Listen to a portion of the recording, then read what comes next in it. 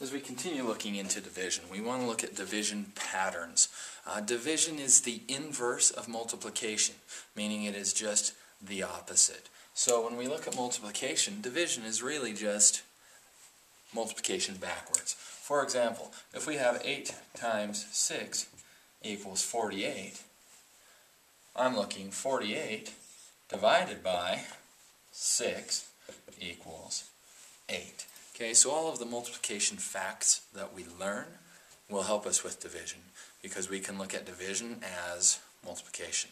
Uh, we just want to talk about some of the patterns that will come by with multiplication.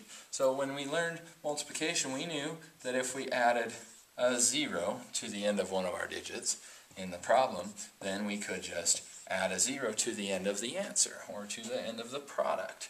Now, it's the same thing with division. However, we start with the dividend, the thing that is being divided. So whatever is being divided, that's where we have that 0. 480 divided by 6. Because that extra 0 is there, we just look at the, at the division fact. What's 48 divided by 6? Well, 48 divided by 6 is 8.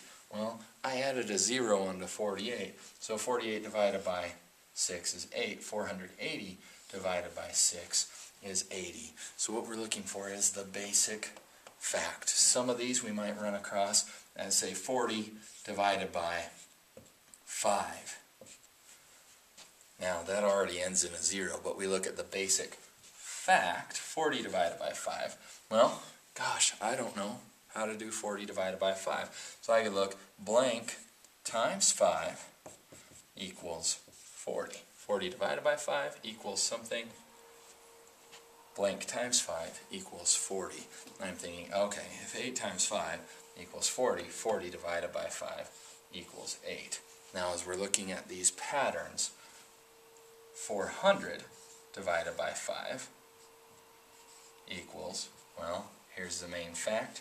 We added a 0 to the end of the, to the dividend in the fact that we know, so equals 80. 4,000 divided by 5 equals, well, 8